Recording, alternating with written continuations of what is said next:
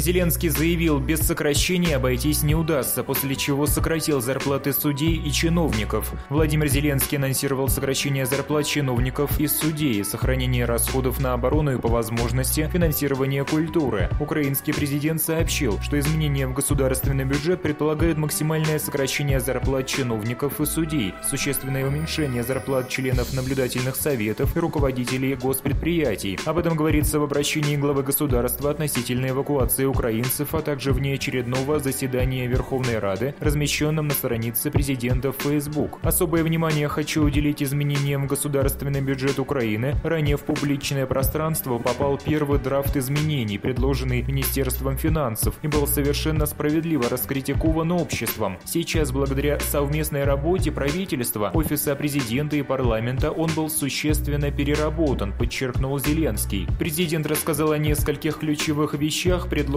бюджетными изменениями. Правительство намерено пересмотреть заработные платы и премиальные выплаты ведущих чиновников страны, а также членов наблюдательных советов, оклады которых равняются 10 минимальным заработным платам, что на сегодняшний день равняется 47 тысячам гривен. Доходы этих лиц в 2020 году будут сокращены наполовину. Будут максимально сокращены зарплаты чиновников и судей, а также членов наблюдательных советов руководства государственных предприятий. Гривна не будет срезана по расходам на армию и оборону Украины, заверил Зеленский. В общем, мы все должны понять, некоторые сокращения будут. Полностью обойтись без них нам не удастся. И сегодня так поступает большинство стран мира. Давайте рассматривать и это, и все ограничения изоляции как временные неудобства. Также президент подтвердил информацию, ранее озвученную премьер-министром Украины Денисом Шмыгалем. Расходы стабилизационного фонда предполагается направить на дополнительные выплаты медицинским и другим работникам, которые непосредственно